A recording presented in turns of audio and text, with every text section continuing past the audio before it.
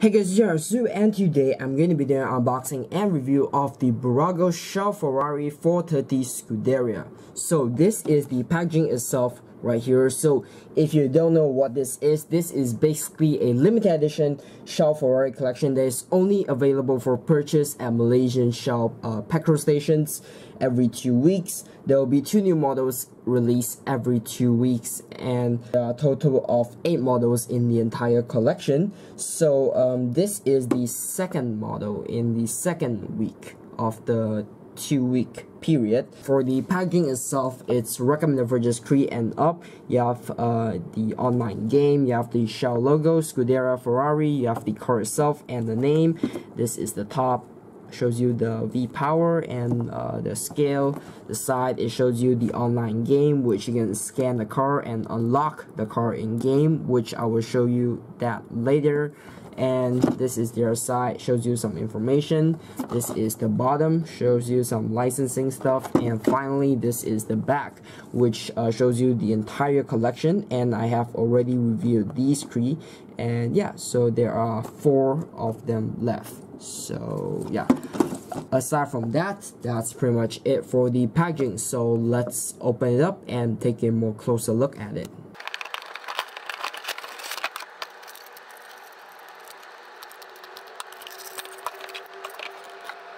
So this is the car of the packaging, so let's take a more detailed look at it. So this is the Ferrari 430 Scuderia itself right here. So let's start with the front. So the front you have the headlights right here and you have the stripes right here which are in silver and they go through the entire car all the way to the back and you have the Ferrari logo right there and you have the bottom detailing with some texture right there which looks nice and this is the side you have the wheels right here which really doesn't fit the car. It just looks bad. And you have the Ferrari logo with the horse you have the side mirror and you have this kind of small scoop part right here which is not detailed which does kind of suck. But um, yeah. So you have uh, the door right here and this is the top. You have the stripe right here and as for the back, you have the tail light detailing, you have the Ferrari logo, and you have uh, some bottom detailing with uh, the texture that is the same as the front.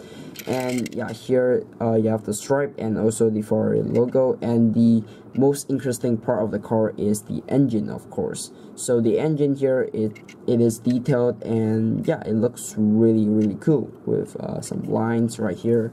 And yeah, if you can see there is uh, the Ferrari wording on the engine itself. You can see there's a bit of kind of a weird shape going on. Yeah that's the Ferrari wording. So yeah very interesting. And yeah. And this is the bottom of the car. And yeah aside from that that's pretty much it for the Ferrari 430 Scuderia now I'm inside the app and I'm about to scan the car. So here's a 360 view of the car.